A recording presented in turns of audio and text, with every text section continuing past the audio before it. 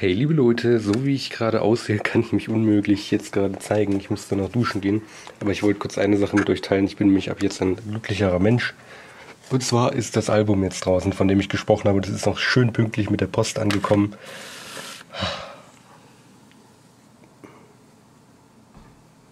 Sehr schön. Und ich würde sagen, verbunden damit äh, werde ich heute wahrscheinlich das den ersten Teil des FAQs drehen. Ich habe mir überlegt, ich mache mehrere über den Monat verteilt. Und äh, heute, also wenn sich mehr Fragen ansammeln natürlich. Ansonsten, also heute werde ich wahrscheinlich die Fragen beantworten, die bisher gestellt wurden. Und ja, bis dann. Und dann erzähle ich noch was, weil heute ist noch ein besonderer Tag auf eine andere Art und Weise. Siehe heute 13 Uhr. So, liebe Leute, und damit heiße ich euch jetzt herzlich willkommen äh, zu dem FAQ. Ihr, also, kurze Anmerkung am Anfang: Es ist das erste FAQ. Das bedeutet, wenn ihr bis jetzt noch keine Fragen gestellt habt, ähm, dann schreibt ihr ruhig hier runter oder unter die nächsten oder vorherigen Vlogs auch in die Kommentare. Denn wenn sich noch Fragen ansammeln, will ich auf jeden Fall noch ein zweites FAQ machen. Wenn sich zum Beispiel hier aus dem Video, aus meinen Antworten noch mehr Fragen ergeben oder etwas anderes komplett noch äh, interessiert, dann bitte her damit. Wirklich, ich liebe sowas. Ich muss jetzt mal ganz kurz etwas auf meinem Handy gucken. Äh, und zwar, ob ich eine SMS abgesendet habe an meinen Vater. Die muss ich nämlich noch absenden. Ich weiß noch nicht, ob ich sie abgesendet habe oder nicht. Okay, ich habe sie abgesendet. Gut. Das bedeutet, wir können loslegen. Eine Sache noch am Anfang. Äh, ich werde bewusst unter das FAQ ähm, keine Musik legen, weil das FAQ wird so an sich wahrscheinlich etwas länger dauern. Ich werde auch ziemlich viel schneiden, weil ich habe mir noch keine Antworten überlegt, nur so ganz grob hier und da mal rüber gelesen. Ähm, werde es also relativ spontan entscheiden, aber vielleicht werde ich hin und wieder doch mal länger nachdenken und das dann rausschneiden. Und äh, weil es halt etwas länger gedauert, habe ich mir gedacht, okay, macht euch doch an der Stelle selbst ein bisschen Musik an, was auch immer euch an Musik gefällt und hört zu der Musik, die euch gefällt, mein FAQ. Deswegen bewusst hier keine Musik, anders als sonst. So, ähm, ich habe mir für heute zwei Fragelisten ausgedruckt. Das sind insgesamt äh, 25 Fragen, also es wird vielleicht wirklich etwas länger dauern. Ähm, dabei sind 15 Fragen von Dave und 10 Fragen von Trün. Und äh, die habe ich jetzt hier und werde abwechselnd äh, die stellen. Allerdings, wie gesagt, ähm, ich will unbedingt noch eine FAQ machen. Ich liebe es, Fragen zu beantworten. Heute ist ein schöner Tag und ich muss noch eine Kulisse hier holen. Aber die liegt erstmal hinter meinem Rücken. So, ist es gut. Ich habe mich jetzt entschieden, hier in mein Zimmer zu drehen, weil dann kann ich, wenn es zu irgendeiner Frage passt, wirklich noch ähm, ja, mal was herholen. So, und wir fangen an. Ich werde äh, versuchen, die Fragen einzublenden, wenn ich es nicht vergesse. So, das bedeutet, wir werden mit einer Frage von Trun anfangen und dann, nee, mit einer Frage von Dave anfangen, weil es mehr sind. Und dann halt immer im Wechsel gehen und am Ende halt nur noch die letzten Dave-Fragen. So, also, Frage Nummer 1. Dave fragt, welche Musik hörst du gerne? So, äh, die Frage habe ich eigentlich schon öfter gerne mal beantworten wollen. Ich bin nämlich sehr, sehr musikoffen äh, eigentlich. Es gibt eigentlich nur wenige Musikrichtungen, die ich wirklich absolut gar nicht höre. Und das sind eigentlich so Elektro, Techno, Dubstep und sowas halt, sowas total künstliches, sag ich mal. Also halt so absolut nicht mit echten Instrumenten und alles sowas äh, oder selten, höchstens mal zusammengemixt mit irgendwelchen Samples oder so oder manchmal bestimmt auch mit echten, aber ist einfach nicht, ist einfach absolut nicht meine Richtung. Und äh, zweites Rap, da bin ich äh, vollkommen abgeneigt. Ich persönlich sehe das auch nicht als Musik, aber also natürlich mit Ausnahme zum Beispiel Deutschrap finde ich das Schlimmste, was der Welt passieren konnte. Wirklich, das ist so, also meiner Meinung nach es ist richtig ekelig, richtig abartig, aber äh, ja. Ich bin äh, ansonsten relativ offen, also ich höre eigentlich hauptsächlich so in Richtung Alternative Rock oder auch äh, Progressive Metal, ziemlich viel Hard Rock. Also eigentlich, das ist so die Hauptrichtung. So, so ein paar Bands, die ich aufzählen kann, die zu meinen Lieblingsbands gehört sind, in Richtung Punk, äh, Rock, ganz typisch Billy Talent Äh, AFI, Fire and Sight, aber eher so die, die älteren Alben, so Sing the Sorrow vor allem. Super Album, wirklich super. Ähm, was haben wir noch in die Richtung? Thrice, Avenged Sevenfold, Distrage, Protest the Hero. Ähm, ja, ich habe jetzt nicht sofort im Kopf hier, was ich alles höre. Ähm, noch etwas stärker dann Phineas und äh, ähm, The Faceless. Das sind so noch etwas stärkere. Dann ja, etliche Sachen so in die Richtung I Am Ghost, falls es jemandem was sagt. Bisschen melodischer, sage ich mal. Und ansonsten so in, in, Richtung des nicht so metaligen oder nicht so, nicht so starken. Ach ja, und bei Hard Rock noch natürlich Papa Roach, aber auch die älteren. Das ganz Neue, das finde ich auch unfassbar schlimm. Und dann so, wie gesagt, ein bisschen von, von dem Härteren weg. Da gibt es so Bands wie Fallout Boy, aber auch nur das Alte. Das Neue finde ich auch ganz, ganz, ganz ätzend. Äh, dann Panic at the Disco, auch da nur so erstes, zweites Album, vielleicht noch ein paar Lieder vom dritten, aber alles danach finde ich auch kotz, kotzig. äh, Muse gefällt mir super gut, das neueste Album da auch nicht so gut, oder die neuesten beiden auch nicht so gut, aber auch da der alte, das alte Zeug mega, also das höre ich, kann ich immer, immer wieder hören. Ähm, und etliche Sachen wirklich, ich, ich höre wirklich, wirklich, wirklich viel Musik. Ihr könnt allein auf meinen MP3-Player gucken, da habe ich so viele hunderte verschiedene Bands und auch auf Spotify höre ich einfach alles. Mein Last.fm-Profil werde ich in der Videobeschreibung verlinken. Wenn ich das noch nicht getan habe, da könnt ihr auch so ein bisschen rumstöbern. Aber meine absolute Lieblingsband, die habe ich jetzt äh, noch nicht erwähnt, die ist äh, meiner Meinung nach wirklich was Außergewöhnliches und die heißt äh, The Deer Hunter. Und da ist heute am 9.9. Äh, das Album hier rausgekommen. Die haben so ein bisschen so Prinzip, also die machen äh, hauptsächlich Konzeptalben, also Alben, die irgendwie in der Story und im Konzept einfach zusammenhängen sozusagen.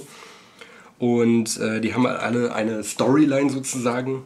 Ähm, die heißt, äh, glaube The Lake and the River heißt es. Das ist sozusagen ein Musical und ist über äh, sechs CDs verteilt. Da ist heute, wie gesagt, Teil 5 rausgekommen. Und die ersten vier gibt es jetzt schon länger. Teil 4 habe ich hier auch irgendwo äh, rumliegen und die ersten drei noch nicht, aber die ersten drei werde ich mir noch kaufen. Und natürlich das sechste.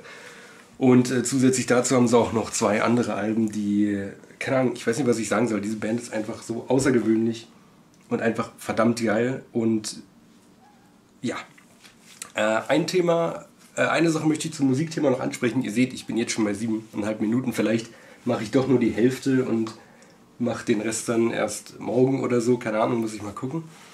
Ähm, auf jeden Fall möchte ich noch meine vier Lieblingslieder äh, ansprechen, bevor wir zum, zur nächsten Frage gehen.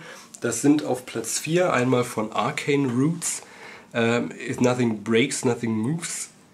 Dann auf Platz 3, Moment, ich, ich habe mir das aufgeschrieben, ich habe nur gerade die Notiz nicht hier, deswegen ich, ich bin da immer ein bisschen schwer, ich verschiebe da auch gern was und so. Ähm, auf Platz 3 ist äh, This Time Imperfect von AVI. Auf Platz 2 White Sparrows von Billy Talent und auf Platz, I, Platz 1 ganz ungeschlagen äh, Red Hands von Deer Hunter. Das ist mein absolutes Lieblingslied und das wird sich wahrscheinlich auch niemals ändern. So.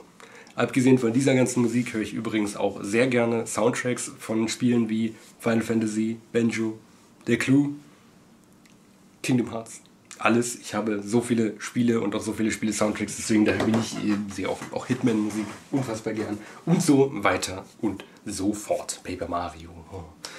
Gibt viele sehr gute Soundtracks. So, damit habe ich jetzt für die erste Frage und die Introduction ungefähr neun Minuten gebraucht und mein äh, Kameraakku ist fast leer, sehe ich gerade, das ist ganz schön ätzend.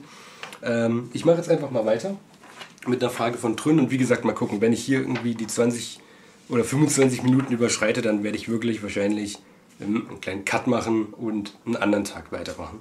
Weil das war jetzt eine von 25 Fragen. Shit.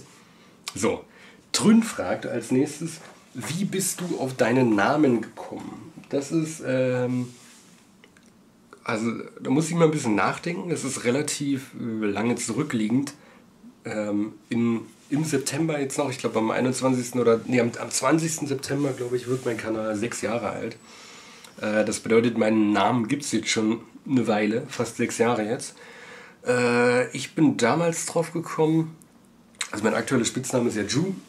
Und früher aber, als wir noch jünger waren, äh, oder als ich noch jünger war, da war mein Spitzname Juju. Also halt zweimal Ju. Finde ich inzwischen unfassbar gay, aber ist nun mal so.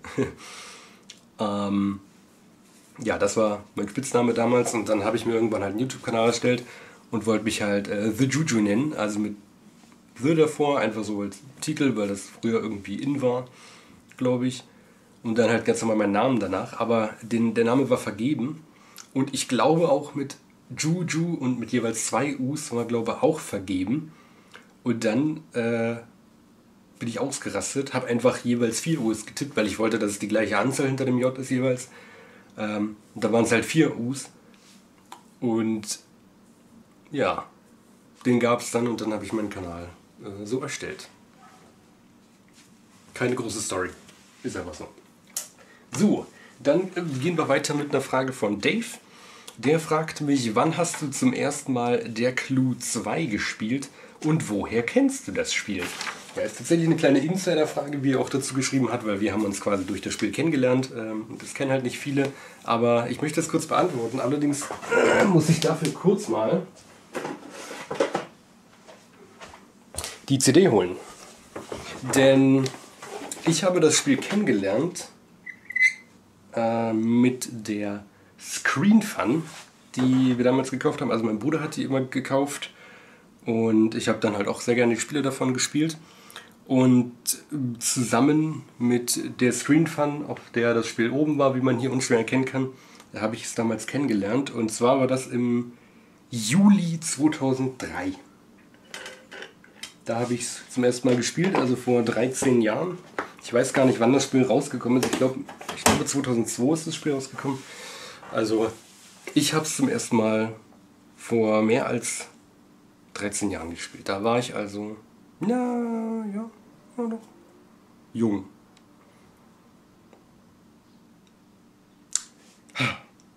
Ich liebe dieses Spiel. So, dann machen wir jetzt wieder weiter mit einer Frage von Trünn. Ich werde mich mal verstecken. Ich will es nicht aussprechen. Die Frage ist, wie viele Tumore hast du mittlerweile schon? Ich wollte sowieso noch anmerken, ich versuche jede Frage, wie man wahrscheinlich auch jetzt gerade merkt, äh, möglichst ernst zu beantworten, aber es gibt Fragen, da frage ich mich selbst, gibt es darauf eine ernste Antwort? Eine ernste Antwort wäre meines Wissens nach keine. Aber um mal so ehrlich zu antworten, also ich sage öfter mal ähm, aus Spaß, ich weiß, es ist absolut nicht lustig eigentlich, aber ich habe halt äh, doch einen relativ schwarzen Humor und ich sage halt auch gerne sowas wie ich sammle Tumore oder ich, ich sammle AIDS. Und äh, demnach drin müsste ich mittlerweile ungefähr 14 oder 15 haben. Machen wir weiter mit einer Frage von Dave. Nochmal was, ähm, was die ersten beiden Fragen von Dave ein bisschen zusammenfügt. Die Frage ist nämlich, findest du die Der Clue 2 Musik genauso geil wie ich? Er schreibt dazu auch Fangfrage. Äh, aber ja, was heißt Fangfrage? Es ist halt es ist halt für uns beide logisch, was ich da antworte. Deswegen ja, ähm, definitiv ja. Ich finde die Musik sehr geil, deswegen benutze ich sie ja auch in den Vlogs sehr gerne. Falls ihr euch mal gefragt habt, was das manchmal für Musik ist, das ist äh, ziemlich häufig Musik aus der Clue 2. Äh, meine Lieblingslieder sind da eigentlich, äh, also besonders früher äh, das, was im Hotel kommt. Ich glaube, das ist Lied, Lied 7 oder 8 oder 6, 6, 7 oder 8 im Soundtrack, ich bin mir gerade nicht ganz sicher. Ich glaube, Lied 8 war das im Soundtrack. Ich bin mir nicht ganz sicher. Und etliche andere Lieder, das, was in der Kaserne kommt, das, was beim Einbruch kommt. Und das letzte, keine Ahnung, der ganze Soundtrack ist einfach mega, mega cool. Und auch der von Teil 1, ähm, da höre ich besonders das Hotelzimmerlied sehr gern. Also ja, definitiv mag ich sehr. So, dann machen wir wieder weiter mit einer Frage von Trünn. Die dritte Frage äh, von ihm welche Konsolen besitzt du aktuell und welche ist die, die du am meisten magst?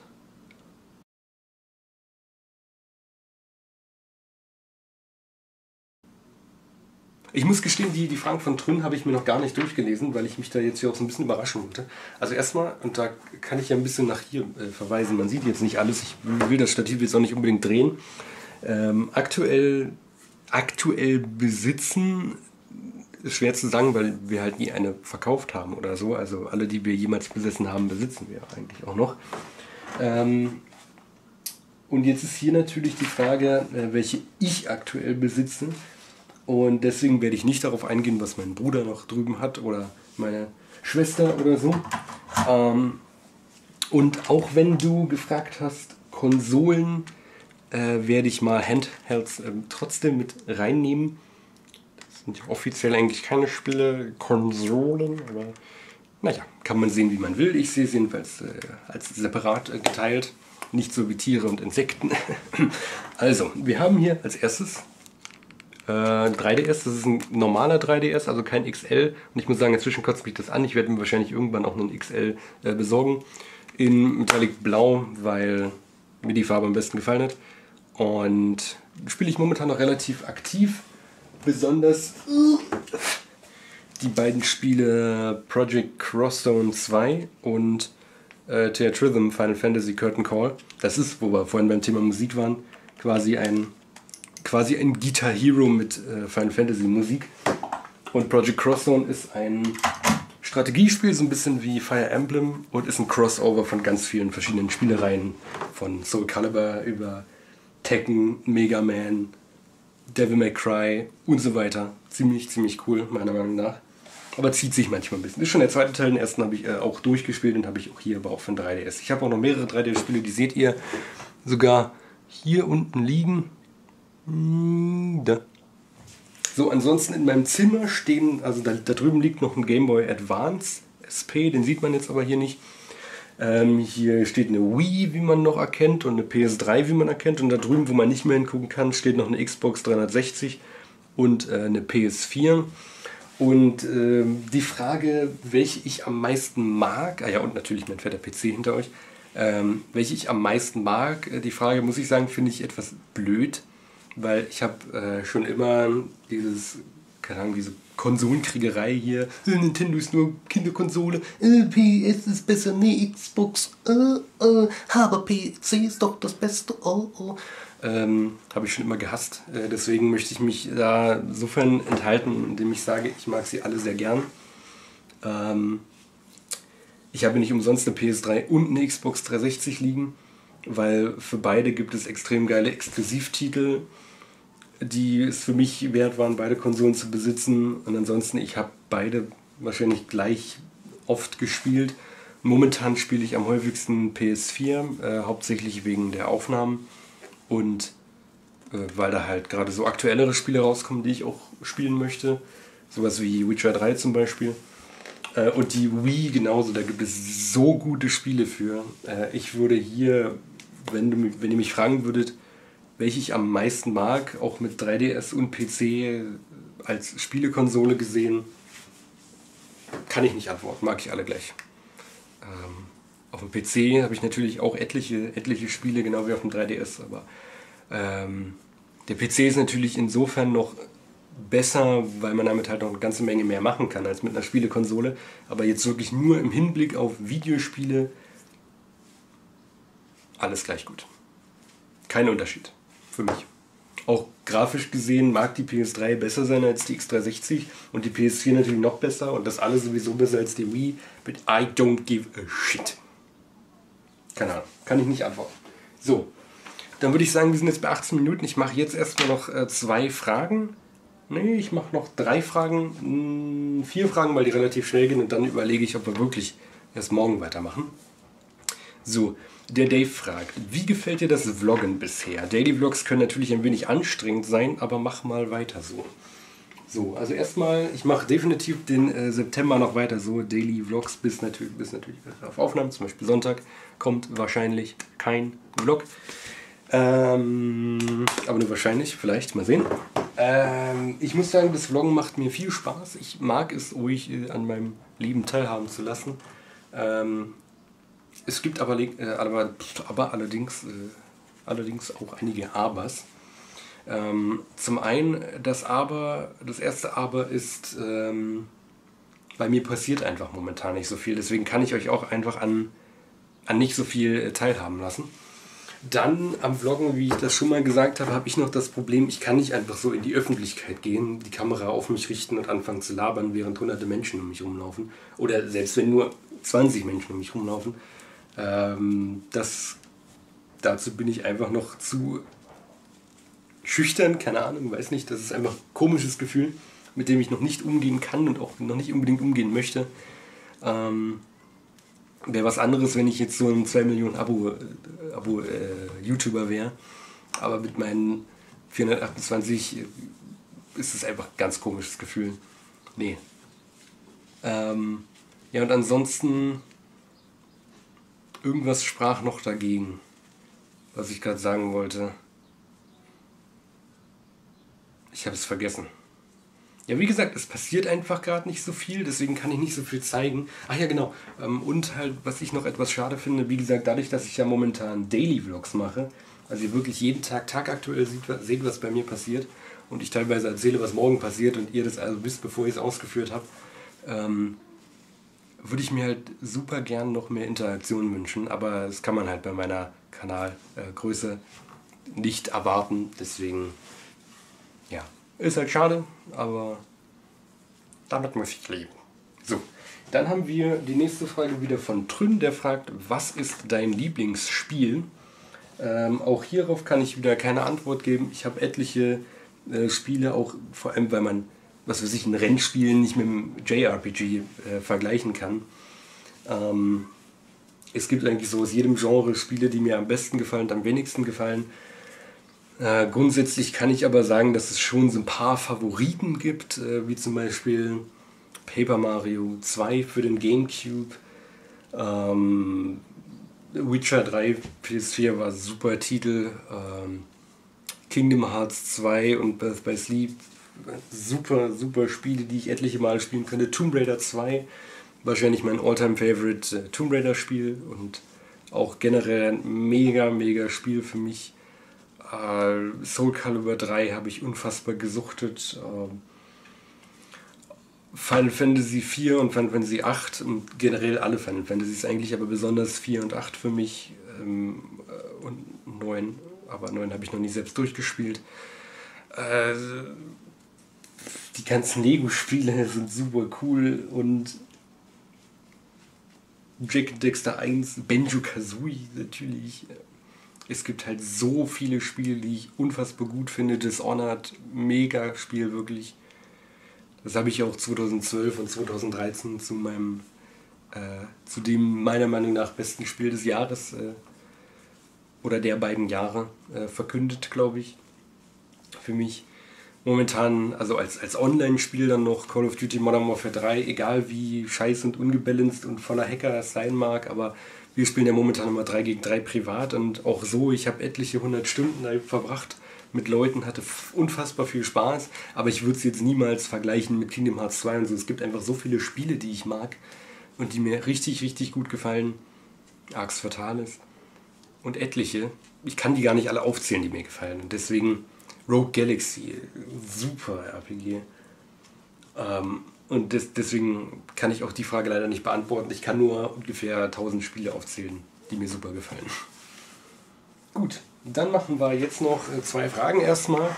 Äh, das eine bezieht sich auf meine Let's Plays und das nächste auf mich nochmal. Ähm, ich frage jetzt erstmal schnell äh, die Frage von Trün, obwohl wir gerade schon eine von Trün hatten, ähm, weil es einfach schnell geht. Und zwar fragt er, wie alt ich bin. Ich bin aktuell seit fast einem Monat oder seit, seit ein paar Wochen, sagen wir, ähm, bin ich 19 Jahre alt, auch wenn ich jünger aussehe. Ich weiß.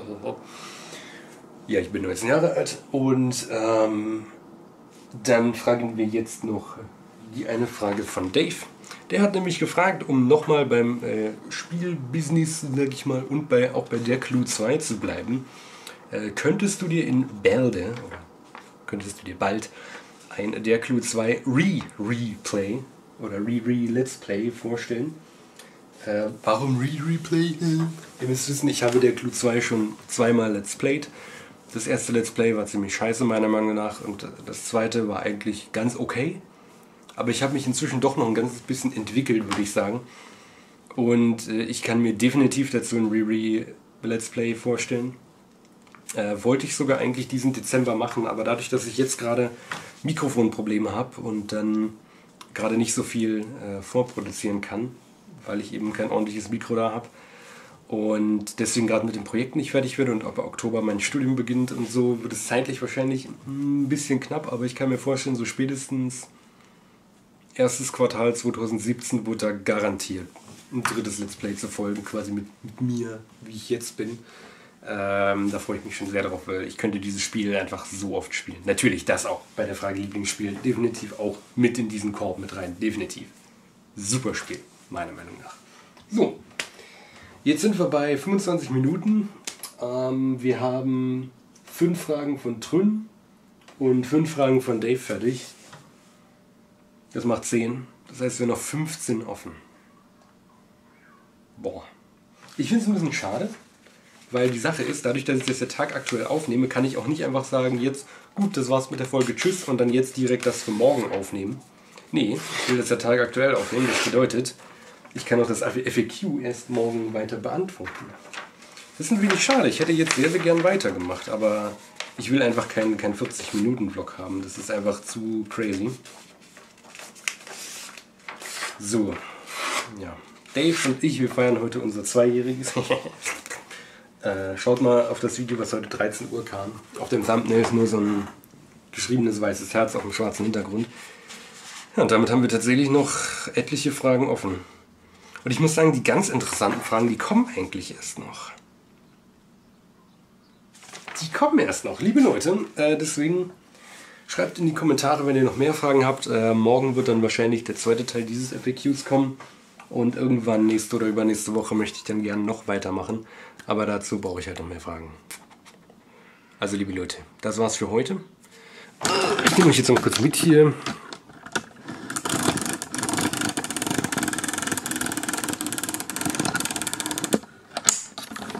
Hier seht ihr nochmal die Spiele, äh, die Konsolen, ne? Wii, PS3, Aufnahmegerät, Aufnahmegerät, PS4, Xbox 360, Spiele, 3DS, PC. Gut.